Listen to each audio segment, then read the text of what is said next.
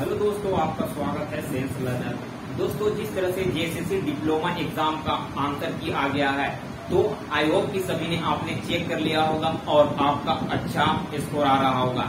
तो इसमें जेएसएससी ने नोटिस डाला है कि अगर जिसका भी आंसर गलत मिलता है, ठीक है, अगर कोई भी आंसर आंसर की में कोई भी अगर मिस्टेक मिलता है ठीक है? अगर आपका जो रियल आंसर है, उससे अगर थोड़ा सा अलग मिल रहा है तो आप इसके लिए क्लेम कर सकते हैं, ठीक है? क्योंकि जेएसएससी का कुछ आंसर डिफरेंट होता है। और जो बुक और स्टूडेंट का आंसर कुछ डिफरेंट होता है। तो देखिए, अगर कहीं ना कहीं कुछ मिस्टेक होता है तो आपको लग रहा है कि नहीं, आपका आंसर सही है और जेएसएससी का आंसर गलत है तो आप इसमें क्लेम कर सकते हैं, ठीक है?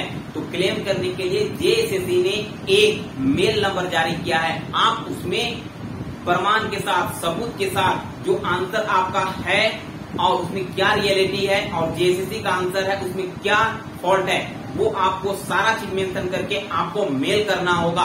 और मेल की आईडी यहाँ पर मैं लिख दी है, आप उसे कॉपी कर सकते हैं। तो चलिए देखते हैं सबसे पहले करना क्या है। देखिए, अगर आपको आंसर की चेक करना है तो W W W J S S C dot N I C dot in में जाके आपको चेक कर लेना है, ठीक है? तीन जुलाई को एग्ज़ाम हुआ था, ठीक है? लेकिन अगर आपका क्वेश्चन में कहीं कोई प्रॉब्लम है तो आप इसमें क्लेम कर सकते हैं, ठीक है?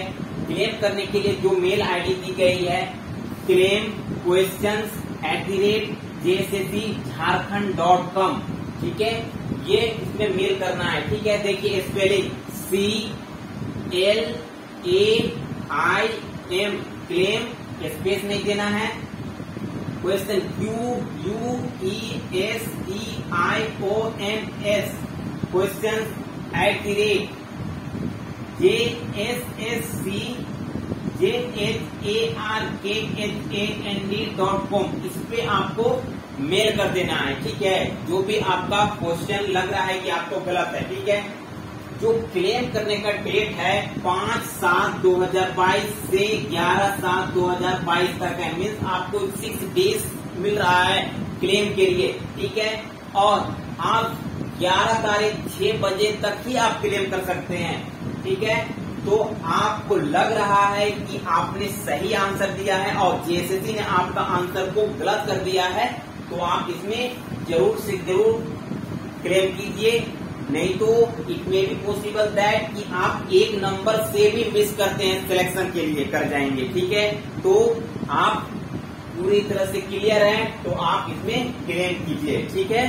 तो आई होप कि आपको ये समझ में आ गया होगा, आपको कैसे करना है, और आप, आपका स्कोर बढ़िया बन रहा होगा तो आप डेफिनेटली कमेंट में कीजिएगा कि आपका स्कोर कितना बना है, आपका कितना सही हुआ है, कितना गलत हुआ है, ठीक है? एक रफ आइडिया लग जाता है कट ऑफ़ के लिए ठीक है?